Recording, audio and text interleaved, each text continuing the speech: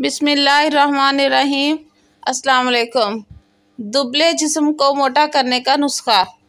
बकरी के दूध के साथ बादाम खाएँ, केले का शेक पिए, बुने हुए चने खाएँ, उबले हुए आलू खाएँ, उबले हुए चावल खाएँ, कच्चा ताज़ा दूध पिएँ।